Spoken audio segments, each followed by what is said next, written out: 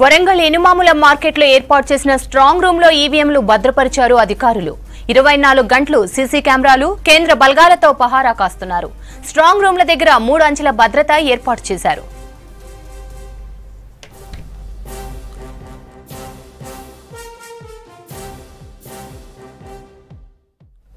ఇక వరంగల్ స్ట్రాంగ్ రూమ్లలో ఈవీఎంలు భద్రతా అంశాలకు సంబంధించి మరిన్ని అప్డేట్స్ కృష్ణమోహన్ అందిస్తారు. కృష్ణమోహన్ డీటెయిల్స్ ఏంటి?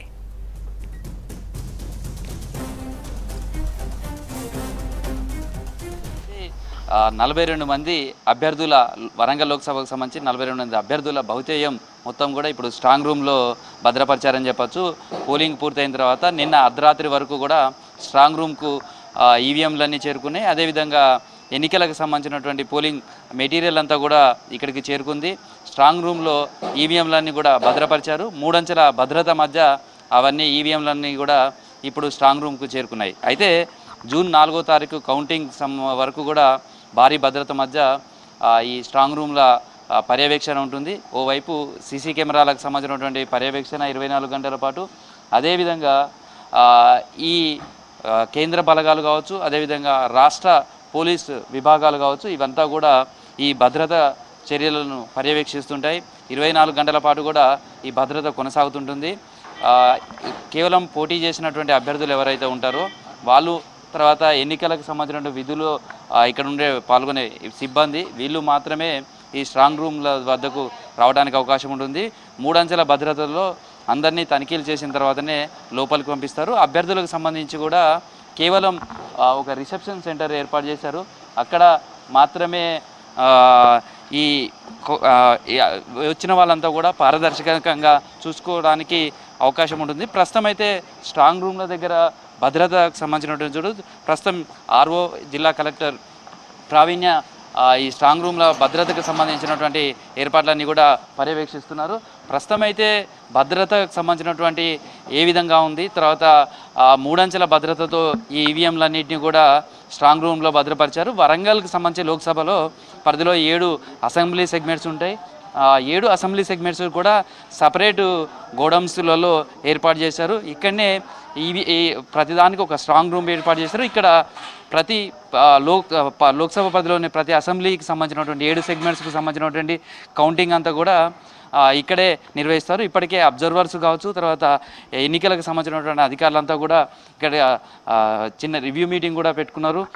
ఏ- భద్రతాపరమైనటువంటి అంశాలు కావచ్చు తర్వాత ఎవరైనా సరే అభ్య పోటీ చేసిన అభ్యర్థులు ఈవీఎంలకు సంబంధించినటువంటి సెక్యూరిటీ వీటన్నిటి మీద కూడా తెలుసుకోవడానికి భారీ స్క్రీన్స్ ఏర్పాటు చేశారు. సీసీ కెమెరాల ఫుటేజ్ ఎప్పటికీ నిరంతరం కూడా అక్కడ ప్రసారం చేస్తారు. ఎవరైనా సరే వచ్చి స్క్రీన్స్ మీద ఈవీఎంలకు సంబంధించినటువంటి భద్రత ఏ విధంగా ఉంటుందో అదంతా కూడా తెలుసుకోవడానికి చూడడానికి అవకాశం కల్పిస్తారు. మొత్తంగా నిన్నటి వరకు చూసినటువంటి పోలింగ్ కావచ్చు ఇదంతా కూడా చాలా ప్రశాంతంగా జరిగింది. గతంతో పోలిస్తే ఈసారి పోలింగ్ శాతం కూడా పెరిగిందని చెప్పుకోవచ్చు. లాస్ట్ వన్ అవర్ అంటే ఆరు గంటల వరకు పో ఓటేసే అవకాశం కల్పించడం వల్ల కూడా ఓటింగ్ శాతం పెరగడానికి కూడా కారణంగా మనం చూడొచ్చు. రెండు వేల పంతొమ్మిదికి సంబంధించినటువంటి ఎన్నికల లోక్ వరంగల్ లోక్సభ ఎన్నికల పరిధి చూస్తే అరవై మూడు పాయింట్ ఏడు శాతం ఏ- ఏడు సున్నా శాతం అప్పుడు పోలింగ్ నమోదైంది. అప్పుడు పదిహేను లక్షల ముప్పై ఏడు వేల ఏడు వందల ఎనభై ఒక్క మంది ఓటర్లు ఉండే పది లక్షల అరవై ఒక్క వెయ్యి ఆరు వందల డెబ్బై రెండు మంది ఓటర్లు తమ ఓటు హక్కును వినియోగించుకున్నారు. ఆ ఈసారి చూస్తే వరంగల్ లోక్సభ పరిధిలో చూస్తే అరవై ఎనిమిది పాయింట్ రెండు తొమ్మిది శాతం. దాదాపుగా ఆరు శాతం పైగా ఈసారి పోలింగ్ శాతం ఎక్కువగా నమోదైంది. ఓటర్ల సంఖ్య కూడా చూస్తే ఈసారి పద్దెనిమిది లక్షల ఇరవై నాలుగు వేల నాలుగు వందల నలభై ఆరు మంది ఉండడం తర్వాత అరవై ఎనిమిది పాయింట్ రెండు తొమ్మిది శాతం ఓటింగ్ శాతం నమోదైంది. దీంతో ఈసారి ఎక్కువ మంది ఓటర్లు అయితే తమ ఓటు హక్కును వినియోగించుకున్నారని చెప్పచ్చు. అయితే ఈసారి కూడా అర్బన్ ప్రాంతానికి సంబంధించి వరంగల్ వెస్ట్ హన్మకొండ ఉంటుంది. ఈసారి కూడా ఓటింగ్ శాతం అయితే ఇక్కడ అత్యంత స్వల్పంగానే న- నమోదైందని చెప్పచ్చు. వరంగల్ వెస్ట్కి సంబంధించి హన్మకొండలో యాభై పాయింట్ రెండు ఏడు శాతం మాత్రమే ఇక్కడ పోలింగ్ నమోదైంది. స్టేషన్ గన్పూర్లకు సంబంధించి అత్యధికమైనటువంటి పోలింగ్ ఇక్కడ నమోదైందని చెప్పవచ్చు ఇక్కడ స్టేషన్ గన్పూర్లో దాదాపు డెబ్బై తొమ్మిది శాతం వరకు కూడా పోలింగ్ నమోదైంది. అదేవిధంగా పాలకుర్తిలో seventy one point three five percentage పరకాలలో seventy two percent అదేవిధంగా వెస్ట్కి సంబంధించి మాత్రం మనం ఇంతకుముందు చెప్పుకున్నాం. ఇక్కడ హన్మకొండ ఉంటుంది. హన్మకొండ హెడ్ క్వార్టర్ ఇది. తర్వాత ఇక్కడే ఎంప్లాయీస్ ఎక్కువ ఉంటారు. తర్వాత ఇన్స్టిట్యూషన్స్ ఎక్కువ ఉంటాయి. యూత్కి సంబంధించినటువంటి ఎక్కువగా ఉంటారు. కానీ ఇక్కడ మాత్రం ఓటు వేయడానికి సంబంధించి మాత్రం ఫిఫ్టీ పర్సెంట్ మాత్రమే ఇక్కడ పోలింగ్ నమోదైందని చెప్పుకోవచ్చు. ఇక వరంగల్ తూర్పుకు సంబంధించి కూడా ఇది మిక్స్డ్ అర్బన్ అదేవిధంగా రూరల్కి సంబంధించిన మిక్స్డ్ ప్రాంతంగా చెప్పుకోవచ్చు. ఇక్కడ అరవై మూడు పాయింట్ ఐదు శాతం నమోదైంది.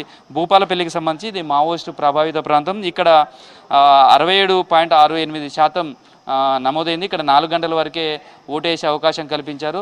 కానీ చాలా పోలింగ్ బూతులలో చివరి క్షణంలో వచ్చిన ఓటర్ల సంఖ్య చాలా ఎక్కువగా కనిపించిందని చెప్పచ్చు. అయితే కొంతమంది ఆరు వరకు అవకాశం ఉంది ఆరు గంటల వరకు అవకాశం ఉందని భావించారు. చాలామంది ఐదు తర్వాత పోలింగ్ బూతుల దగ్గరికి వచ్చినట్టుగా కనిపించింది. కానీ వాళ్ళు ఎవరికి కూడా అవకాశం ఉండదు కాబట్టి వాళ్ళకు ఓటేసే అవకాశం కోల్పోయారని చెప్పొచ్చు.